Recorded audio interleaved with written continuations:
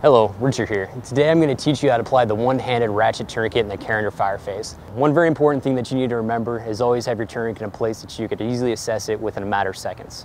The first thing you need to do is remove your tourniquet from your IFAK or your tourniquet pouch. Insert the wounded extremity through the loop of the tourniquet band. Position the tourniquet above the bleeding site, high on the extremity over the clothing or uniform. Now, grasp the loop with your teeth to prevent slipping when tightening. Tighten the tourniquet strap as much as possible. Lift the lever arm of the ratcheting buckle and tighten the tourniquet until the bleeding has stopped, completing the process within one minute. Lock the ratchet on itself. It will click into place.